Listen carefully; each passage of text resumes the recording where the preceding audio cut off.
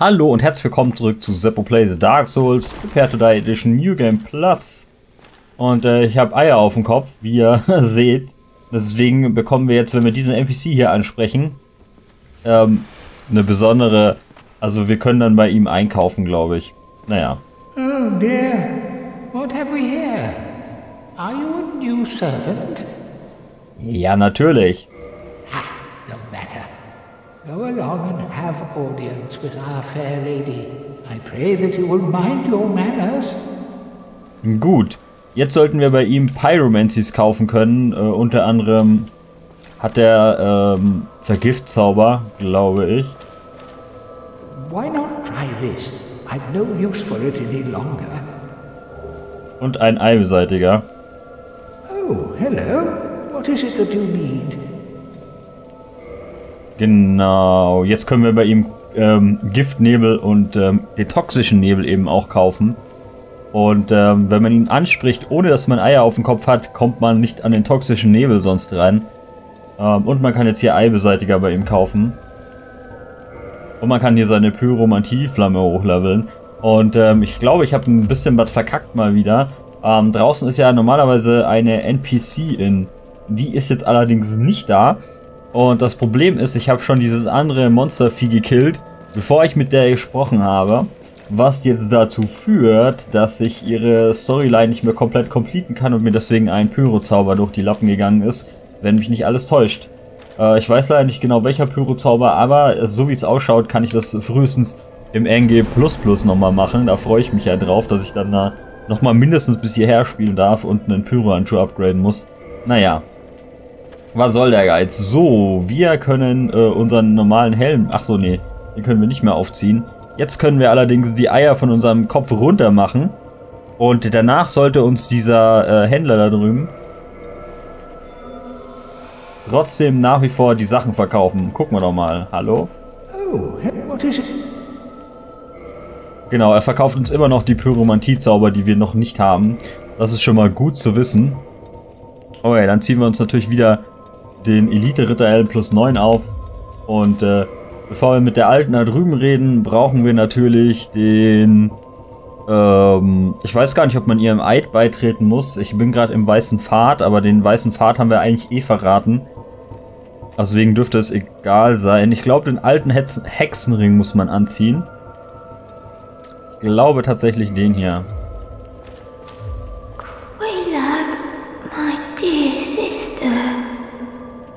Ja, ihr habt gerade gesehen, das Ding hat gesprochen. Das letzte Mal hat es nicht gesprochen. Äh, wenn man eben diesen alten Hexenring anzieht, kann man mit ihr reden. Ähm.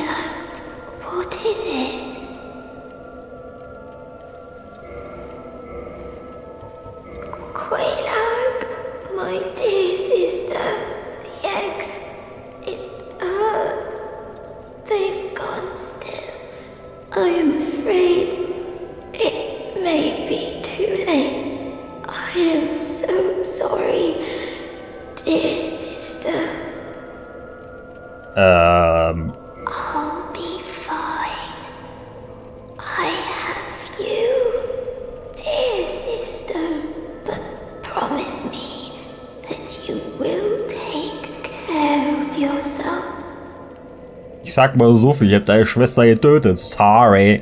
Ich musste leider hier durch. Ja, das.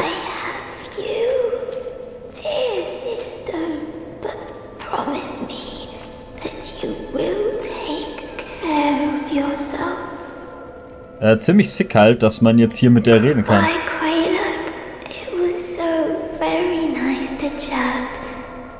Ja, ich fand's auch schön mit dir zu reden.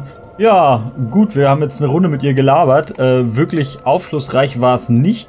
Jedenfalls wissen wir, dass Kelak jetzt ihre Schwester wohl ist. Und dass sie äh, uns für Kelak hält, was ein bisschen seltsam ist. Wieso, weshalb, warum, ich habe keine Ahnung.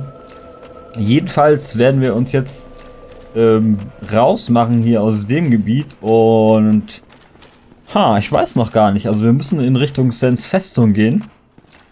Ähm, die Frage allerdings ist, ähm, ob ich davor nicht noch einen Abstecher machen sollte und zwar in den Wald, den Eid dort annehmen und so weiter. Hm. Äh, das ist alles sehr kompliziert. Es gibt nämlich äh, ich glaube, vier Eide, denen ich noch beitreten kann, muss, will, soll. Ähm, da ich, dass ich dann bei allen Eiden mal war und ähm, es gibt ein paar Eide, die ich auch hochleveln muss. Beispielsweise den Dracheneid muss man, glaube ich, äh, 30 Drachensteine äh, geben. Dann bekommt man da was Tolles. Dem Eid da unten, was wir später machen werden, muss man, glaube ich, 30 Menschlichkeit geben. Dann bekommt man einen super Pyro-Spell. Ähm, Ritter Solär, dafür muss ich ein bisschen Koop spielen. Das werde ich in Anno Londo machen bei Ornstein und Smug. Also es gibt noch einen Haufen Sachen eben, die ich, ähm, die ich nicht vergessen darf. Das ist tatsächlich, also ich sag mal so, in diesem Spiel kann man so viel vergessen.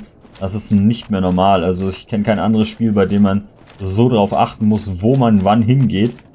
Ähm, damit man nichts vergisst. Und ich habe, wie gesagt, schon äh, was verpasst in diesem Playthrough. Hier ist ja normalerweise eine, oder nicht normalerweise, eine Pyro-Händlerin. Und es gibt zwei Möglichkeiten, ähm, was ich gehört habe, die zu spawnen zu lassen. Die erste Möglichkeit ist, eine Pyroflamme auf plus 15 zu bringen und die dann abzugraden auf eine verbesserte Pyroflamme. Ich weiß gar nicht, wie die... Alter, nicht dein Ernst, ne? Ich weiß gerade gar nicht, wie die verbesserte Pyroflamme dann heißt. Erweiterte Pyroflamme oder irgendwie sowas. Und dann kann man, äh, wenn man dann so eine erweiterte Pyroflamme hat, dann erscheint die Händlerin dort. Wenn mich nicht alles täuscht. Und ja, das ist dann super und dann freuen sich alle und man tanzt Ringerei und alle sind glücklich. So, ähm, jetzt sind wir eigentlich schon mit Schandstadt fertig. Wir müssen später nochmal zurückkommen, um äh, ein paar Dinge hier noch zu machen. Und vor allem müssen wir später auch nochmal ähm, in die große Lehre gehen, um dort äh, die Quest von einem anderen Kumpel zu beenden. Wen werde ich nicht verraten. Die meisten Leute werden schon wissen, welche Quest man da beenden muss. Also die meisten Leute, die ähm, schon ein bisschen mehr Dark Souls gespielt haben und Dark Souls Erfahrung haben, werden wissen, was ich dann am Ende in der großen Lehre machen will. Äh, neben dem Dracheneid. Ähm, das wird später alles noch kommen, wenn ich nichts verkacke. Was durchaus möglich ist was durchaus möglich ist. Ähm ja, hier nach oben dauert immer ein bisschen.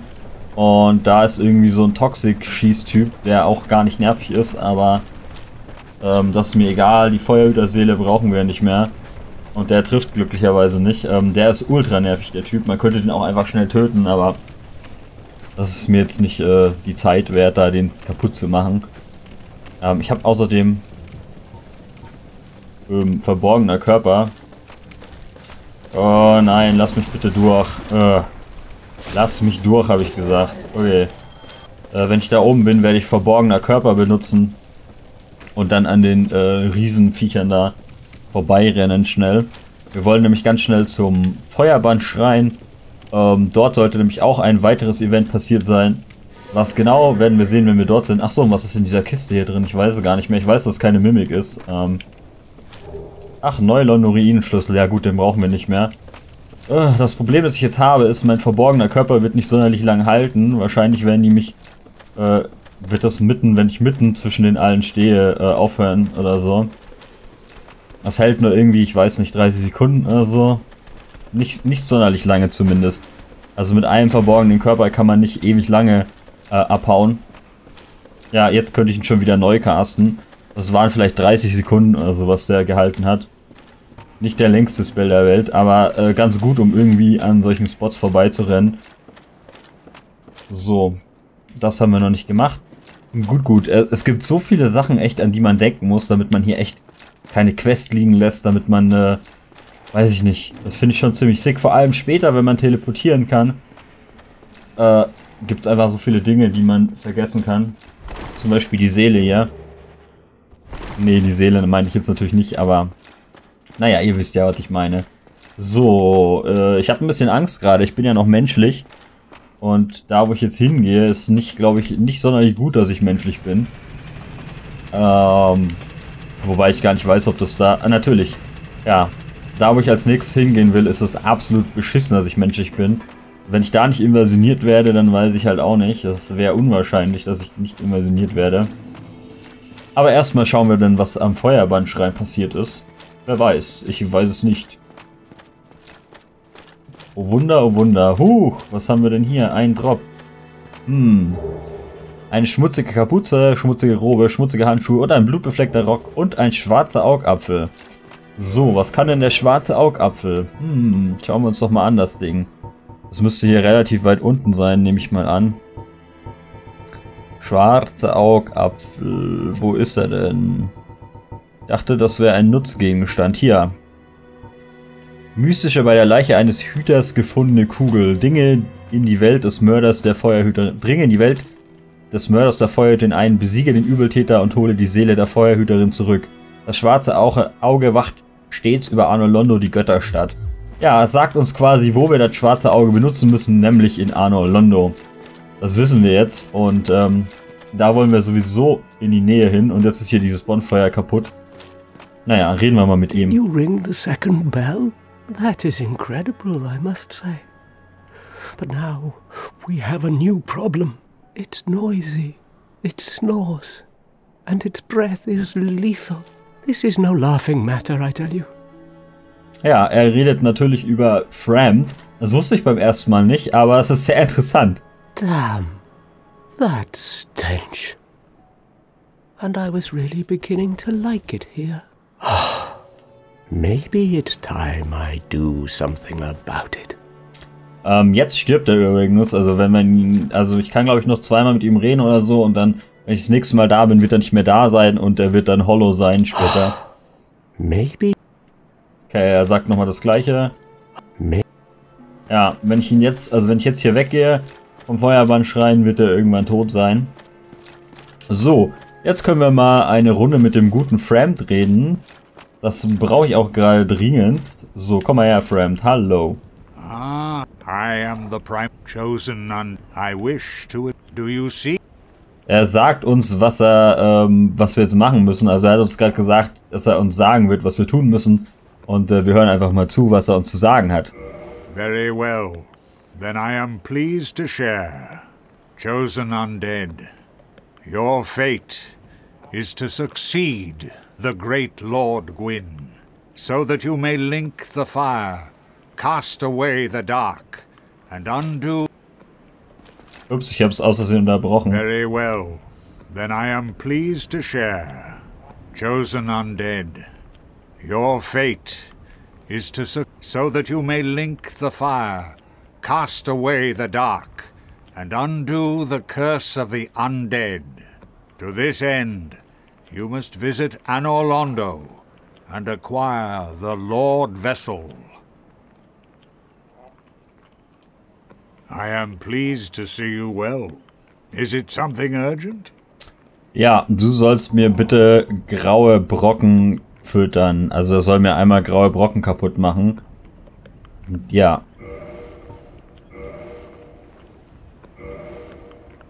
Farewell, Okay, chosen undead. Ich will mal wissen, wie viel man denn da bekommt. Also wie viele große Scherben. Ich hatte, glaube ich, eine oder zwei. Ja, ich brauche gerade ein paar große Scherben. Ich glaube, ich habe drei große Scherben davon bekommen. Ähm, ich werde bei dem noch ein paar... Ich werde ihm noch ein paar mehr Brocken füttern. Ähm, zwei Stück werde ich ihm noch füttern.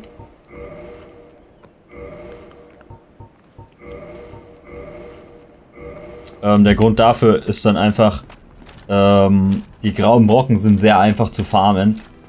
Ach, da ist unser Pyrotyp. Äh, mit dem werde ich jetzt aber nicht sprechen. Mit dem anderen Typen werde ich auch nicht sprechen. Ja, ich denke, der nächste Weg ist tatsächlich ähm, nach äh, Sens Festung. Und muss mal überlegen.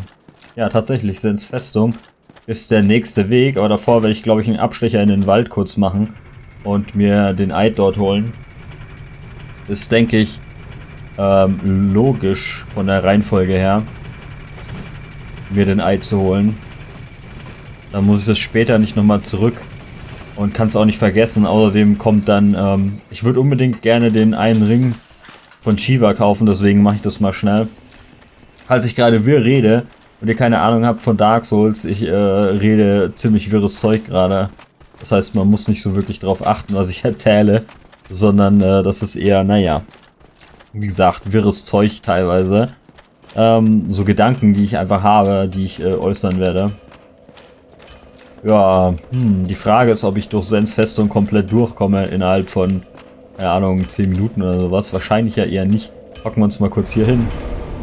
Verlassen das. Oh, ein Stress, ein Stress. Dann reden wir mit André eine Runde und dann... Das ist echt, also ich plane gerade tatsächlich äh, das halbe Playthrough schon im Voraus durch. You Ja, wir wollen äh, Rüstsachen verstärken. Und zwar haben wir jetzt genug, um genau das hoch genug zu bringen, dass wir das jetzt mit Brocken weiter leveln können. Das ist schon mal viel wert. Okay, 8, gut. Drei graue Brocken, okay. So, Schollen wollen wir nicht verwenden. Dann bringen wir die auch noch auf Brockenniveau.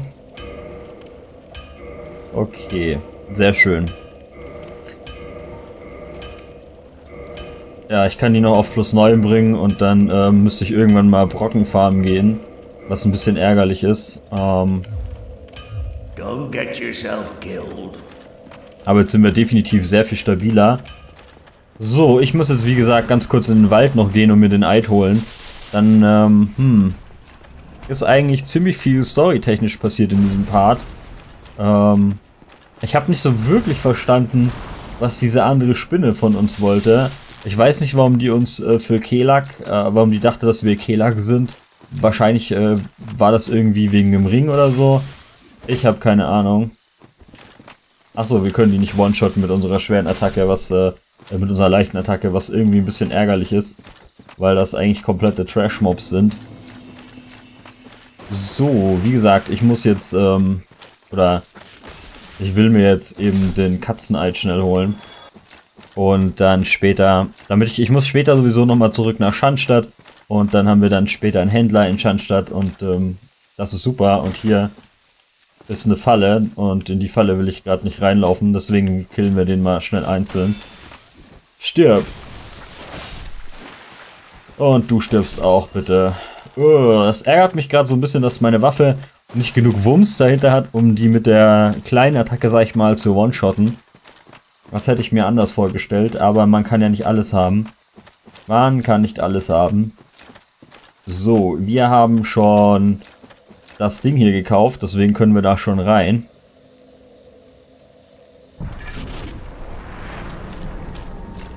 Und äh, ich mach mal, ich mach mal den hier. Ist zwar nicht nötig, aber sicher ist sicher. Dann trifft, dann trifft uns, sollte uns jetzt eigentlich nichts äh, stören großartig. Wir müssten jetzt einfach durchrennen können. Es könnte tatsächlich sogar sein, äh, dass wir es damit schlimmer machen, also schwerer machen, weil uns dann der Typ hier so spät sieht. Normalerweise rennt er vor uns weg. Ich glaube, der hat uns nicht gesehen. What dost thou say? Wilt thou not join us? Oh, yes, I believe we would suit thee well. Ja. I am very glad. And now thou art one of us. Let us establish a covenant. In Anwesenheit eines Phantoms kannst du keinen Eid ablegen. Was für ein Phantom? What dost thou say? Wilt thou not join us? Oh, yes. I and In Anwesenheit eines Phantoms kann ich keinen Eid abschließen. Bist du das Phantom? Ja, dann müssen wir den schnell killen.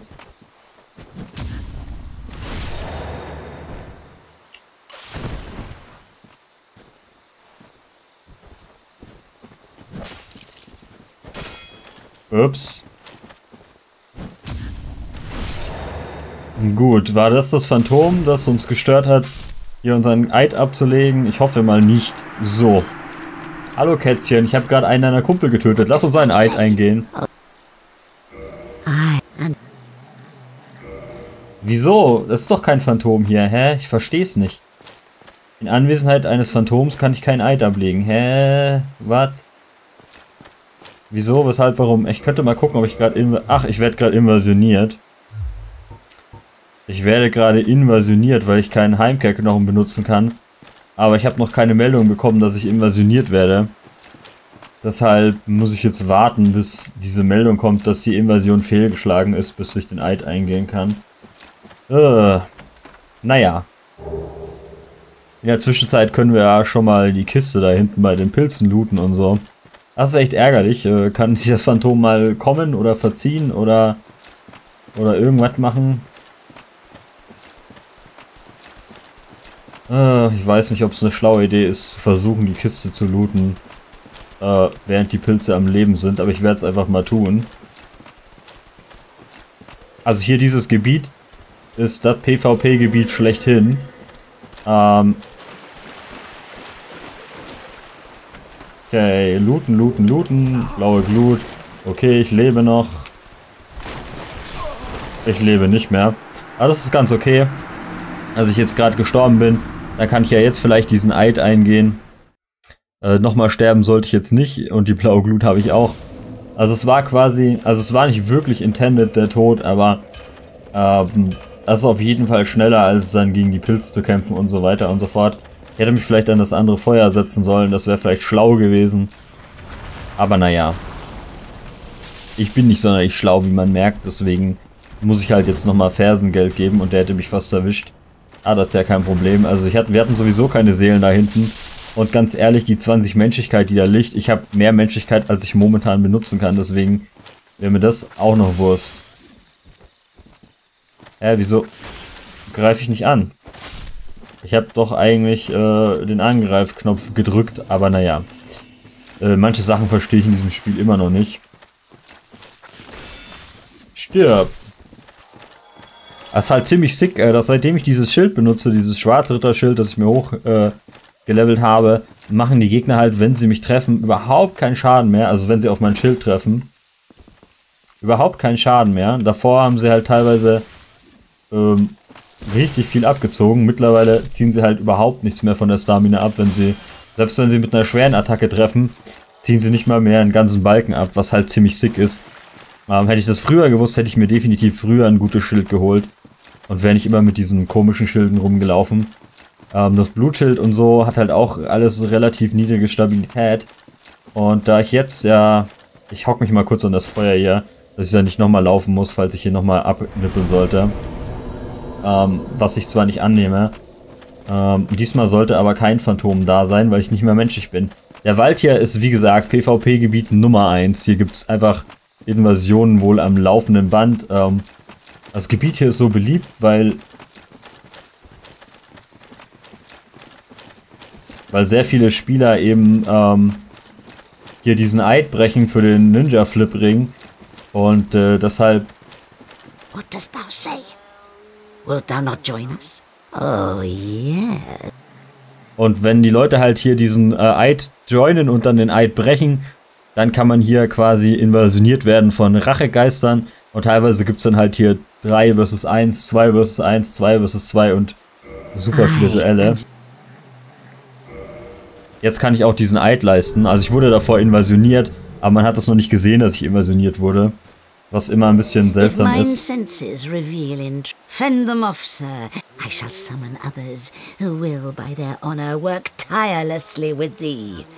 Thou shalt receive great reward, and whatsoever you shall pillage will be thine own. A true agreement, not so? But thou must heed the golden rule. Man darf sie nicht clan hintergehen. is thine own family. Darest not in any attempt to double Ja, jetzt sind wir hier im Katzeneid. Der einzige Vorteil, den wir dadurch haben werden, ist, dass wir später einen Vendor bekommen, den wir, ähm, wo wir später noch hingehen werden. Naja, in diesem Part haben wir eigentlich nicht sonderlich viel geschafft. Äh, wobei, ähm, wir haben den Engi freigeschalten. Also ich glaube, dieser, dieser NPC, den wir vorhin freigeschalten haben, heißt Engi oder Engi oder irgendwie sowas. Und ich sollte mich nicht von euch treffen lassen. Ihr seid nämlich krasse Beaches. So, ich bin schon weg. Ja, lasst mich jo, lasst mich bloß in Ruhe, Pilzköpfe. Mit denen will man sich nicht anlegen. Die hauen nämlich ordentlich zu. Ähm, wo geht's denn wieder zurück? Oh nein. Fängt schon an. Ach nee, ich glaube da hinten. Da hinten müsste es zurückgehen, oder? Nein. Oh Mann. Ah doch, da, tatsächlich. Naturellement, da geht's zurück. Dann müssen wir noch schnell mit Shiva sprechen. Und dann, wenn wir mit Shiva geredet haben, dann haben wir alles gemacht, was wir machen müssen hier. Ähm, Sif werde ich mir aufheben für später. So, er hier steht nämlich hier und er hat hier hinten, das ist quasi sein Bodyguard. Mit dem können wir auch reden. Äh, er hat aber nicht sonderlich viel zu sagen. Man kann ihn hier runterkicken, äh, indem man halt hier ihn hier so runterkickt mit so einem Kick, werden wir aber nicht tun. I've heard all about you. I'm Shiva of the East, captain of the brigade. Let's teach you the clan basics now, as there's no time to chat in the midst of fighting. Except there is little in the form of rules, you hear. Fight and hunt as you like. Whoever's fastest gets the prey. That's the way we do it. Only, don't forget what Arvina said. Traitors aren't given a second chance for any reason. That's about it then. Don't worry. It's a good old time, isn't it? Great to have you with us. Good hunting. Das stimmt übrigens nicht, was er gesagt hat. Ähm, wenn man hier diesen Eid bricht, kann man sich freikaufen gegen eine Gebühr bei dem Typen oben im Glockenturm. Ah, did you notice that one? Sharp eyes? He is one of the clan from the east, like myself. Always slinking in the shadows. But he is a tough one. You'll see what I mean. Okay. Don't worry, you'll be hunters with. Gut, damit hätten wir das eigentlich geschafft. So, und jetzt ist der hier mein Kumpel. Wenn ich den jetzt schlagen würde, dann würde ich den Eid brechen. Und das wollen wir auf gar keinen Fall tun. Das wollen wir auf überhaupt gar keinen Fall tun. Denn das wäre doof. Ja, im nächsten Part. Und er hier ist jetzt auch unser Kumpel. Und er hier und eigentlich alle hier. Bis wir den Eid später brechen werden. Das werden wir auf jeden Fall tun müssen, leider. Was ein bisschen ärgerlich ist, aber naja. Kann man nicht ändern. Und wie gesagt, hier unten ist das PvP-Gebiet schlechthin. Ich bin eigentlich ein bisschen froh, dass ich ähm, in Sans Fortress dann gleich nicht mehr menschlich bin, weil wenn ich da jetzt menschlich wäre in Sans und dann dort PvP machen dürfe und mich dann irgendjemand mit einem dicken Bogen runterschießt oder so, wäre ein bisschen lame. Ja, hm. Was ich ziemlich, was ich an der Sense so komisch finde, ist, die hat eigentlich einen ziemlich coolen R2-Move. Und zwar den hier, aber den, der geht eben nur, wenn man die Waffe zweihändig hält. Und äh, leider, wenn man die Waffe einhändig hält, also so, dann ist es halt der, der Standard-Move. Was, was ich ein bisschen schade finde, weil der R2-Move der Sense, der ähm, zweihändige, eben ziemlich cool ist. Aber der einhändige, naja. Der ist zwar auch ziemlich stark und relativ schnell und so weiter und ich würde jetzt nicht sagen, dass er schlecht ist oder so. Aber es ist nicht wirklich, was ich mir vorgestellt habe, leider. Ah, ich muss die Sense irgendwann mal austauschen gegen eine geilere Waffe, glaube ich. Ich weiß leider noch nicht so wirklich gegen was. Ich werde versuchen, mir später... Huch, das hatte ich eigentlich gerade nicht vor. Aber machen wir mal. Ähm, ich habe vor, mir später ein paar andere Waffen hochzurüsten, wenn wir, wenn wir dazu kommen. Ich werde wahrscheinlich ein paar Titanite Slaps farmen. Das sollte kein Problem sein. Ich hoffe, dass die Dark Raids mit einem Parry dann noch ähm, sterben werden. Aber dazu später alles. Ähm ja, wir haben viel Zeug erfahren in diesem Part und ähm, also viel Story vor allem. Fast nur Story, wenn man mal drüber nachdenkt. Wir haben erfahren, äh, weiß ich nicht, was wir alles erfahren haben, eine Menge zumindest. Und ähm, It won't be, I'm afraid. ja, damit kann andere nichts anfangen mit der Glut, die wir ihm gerade gegeben haben, da müssen wir uns an einen anderen Schmied wenden. So, ich bin mittlerweile mit der Rüstung, die ich anhabe, eigentlich ziemlich zufrieden. Ähm, ich brauche später noch halt ein paar graue Brocken für die Schuhe, aber das werden wir schon noch alles bekommen. Ich könnte auch, ähm, da fällt mir eigentlich ein, äh, für die Schuhe, die wiegen 7 Kilo, da könnte ich eigentlich auch, ähm, ja, nicht die Steingamaschen, sondern die hier anziehen. Aber die sehen halt ziemlich hässlich aus, deswegen lassen wir das. Aber man könnte es machen. Ach nee, nicht Gauss-Gamaschen, sondern ah, die da wollte ich haben. Kann ich jetzt noch rollen? Also, ja, ich kann noch mitrollen. Ne? Ja, ich kann noch mitrollen. Dann werden wir die anziehen. Die sind nämlich unupgradet definitiv äh, besser. Und die kann man ja nicht upgraden, wenn mich nicht alles täuscht. Ja, die sind definitiv besser als die anderen Teile. Ähm, deswegen ist es schon gut so. Wie gesagt, ich würde sagen, nächstes Mal machen wir uns auf in Sense Fortress. Dort dürfen wir ähm, Siegmeier nicht verpassen. Sonst gibt es wenig zu beachten, außer dass wir nicht hundertmal sterben. Sonst äh, wird das äh, für euch lustig, aber für mich nicht sonderlich. Damit würde ich mich verabschieden und ich sage Tschüss und bis zum nächsten Mal.